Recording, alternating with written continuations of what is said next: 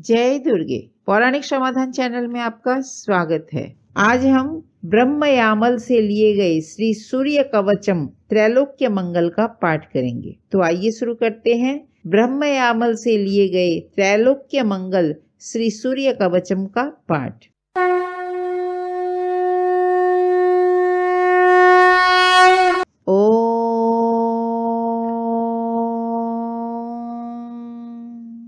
श्रीगणेशाय नमः। श्रीसूर्यदेवतायै नमो नमः। त्रैलोक्यमङ्गल श्रीसूर्यकवचम् श्रीसूर्य उवाच।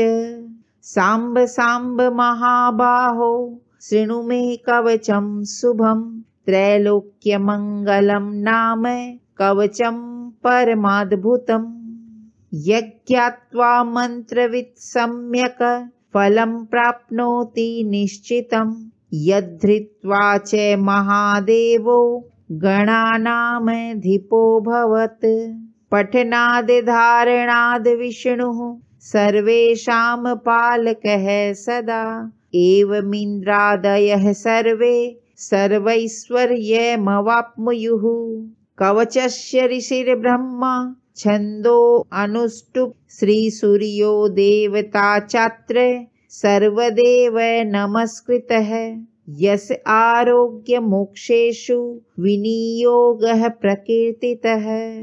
मूलकवचपाठ।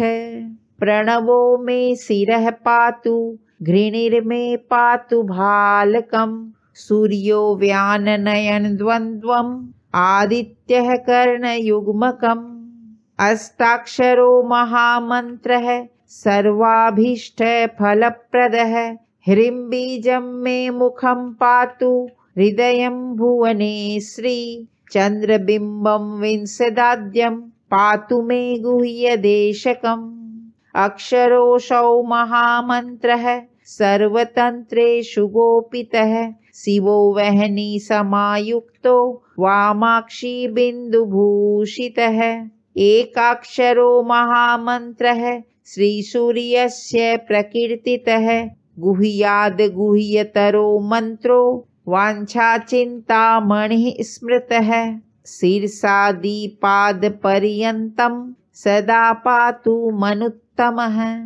फलश्रुति इति ते कथितं दिव्यं त्रिषु लोकेषु दुर्लभम् श्रीपदं कान्तिदं नित्यं धनारोग्यविवर्धनं कुष्ठादिरोगशमन महाव्याधिविनाशनं त्रिसन्ध्यं यः पठेन्नित्यं रोगी बलवान् भवेत्। बहुना किमिहोक्तेन यद्यन्मनसि वर्तते। तत्सर्वं भवेत् तस्य कवचस्य च धारणात्।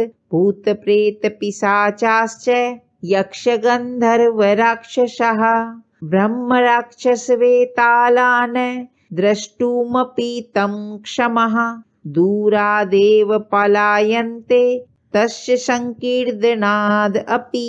भुर्जपत्रे समालिख्य रोचना गुरुकुङ्कुमैः रविवारे च सङ्क्रान्त्यां सप्तम्यां च विशेषतः धारयेत् साधकः श्रेष्ठः श्रीसूर्यस्य प्रियो भवेत्। त्रिलोहमध्यगं कृत्वा धारयेद् दक्षिणे करे। शिखायामथवा कण्ठे सोऽपि सूर्यो न संशयः। इति ते कथितं साम्ब त्रैलोक्यमङ्गलाभिधं कवचं दुर्लभं लोके तव स्नेहात् प्रकाशितम्। अज्ञात्वा कवचं दिव्यं यो जपेत सूर्यमुत्तमं सिद्धिर्न जायते तस्य कल्पकोटिशतैरपि इति श्रीब्रह्मयामले त्रैलोक्यमङ्गलनाम सूर्यकवचं सम्पूर्णम्।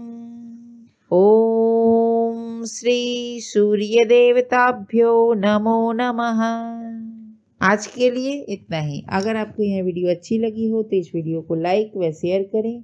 आपके अपने चैनल पौराणिक समाधान को सब्सक्राइब अवश्य करें। बेल आइकन को दबाना न भूलें, जिससे कि हमारी आगे आने वाली वीडियो की जानकारी आपको मिलती रहे। हमारी इस वीडियो या हमारी किसी भी वीडियो से संबंधित किसी भी तरह की कोई जानकारी या सुझाव हो तो हमें कमेंट बॉक्स में लिख करके अवश्य बताएँ। हमारी वीडियोस कैसी लगती हैं, तथा अपने इष्ट देव की जय लिख करके हमें कमेंट अवश्य करें, जिससे कि हमें आगे वीडियो बनाने के लिए हमारा मनोबल बढ़ता रहे। माँ भगवती की कृपा आप सभी भक्तजनों पर सदैव बनी रहे। जय दुर्गे।